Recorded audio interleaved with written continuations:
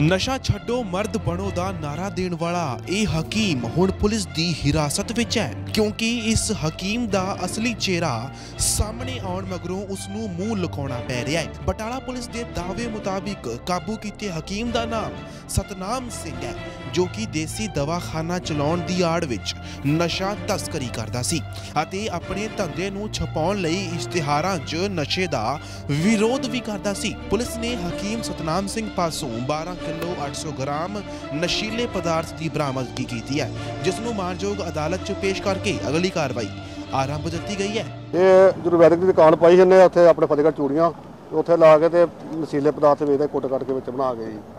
ਤੇ ਇਹਦੇ ਕੋਲ ਤਿੰਨ ਕਿਸਮਾਂ ਦਾ ਫੜਿਆ ਜੀ ਪਾਊਡਰ ਫੜਿਆ ਇਹਦੇ ਕੋਲ। 12 ਕਿਲੋ 800 ਗ੍ਰਾਮ। 12 kilo 800 gram. ਤੇ ਕੱਲ ਇੱਕ ਦਿਨ ਦਾ ਰਿਮਾਂਡ ਲਿਆ ਇਹਦਾ ਜੀ।